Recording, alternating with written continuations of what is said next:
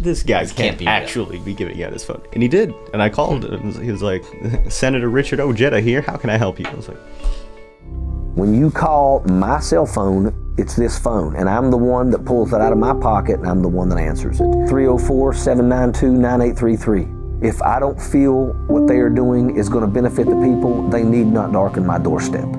Wow. I apologize, Senator. I didn't think this was real. um, so now that I have you on the phone, I'm doing a project. Would you be interested in, in chatting it out?